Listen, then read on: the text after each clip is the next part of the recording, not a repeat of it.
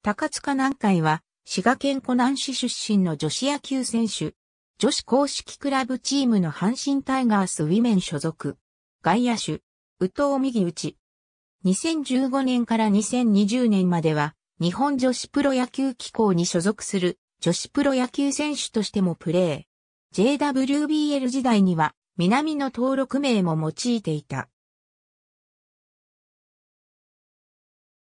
ビクトリアシリーズとティアラカップ合算だと、412ビクトリアシリーズのみに限ると7試合連続三振、上記の7試合連続とすると、391、381、ティアラカップのみだと、ビクトリアシリーズとティアラカップが3だと4打席連続、ティアラカップのみだと5打席連続。ABC 日刊スポーツ日本女子プロ野球リーグ、ニュース日本女子プロ野球リーグ日刊スポーツ、日刊スポーツ日本女子プロ野球リーグニュース兵庫、リオーネ公式ブログ日本女子プロ野球機構、受注販売、南選手今季第1 &2 号本塁打、記念グッズ、日本女子プロ野球リーグ、2018年4月21日閲覧。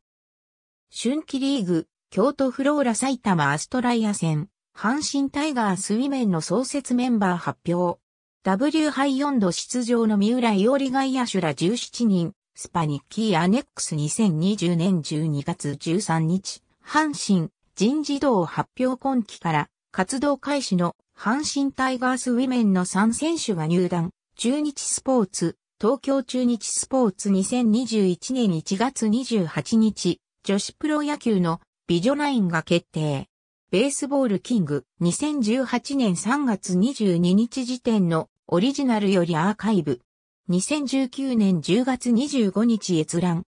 加藤優が美女級総選挙2連覇達成。磯崎ゆかり、南ら埼玉勢、トップ4独占。フルカウント2019年3月23日時点のオリジナルよりアーカイブ。2019年10月25日閲覧。通算三振数1位の岩谷でも、112通算500打席以上で2位は、川崎光の167その他の三振記録は、詳細情報参照、レア公式ブログ、レア公式ブログ。ありがとうございます。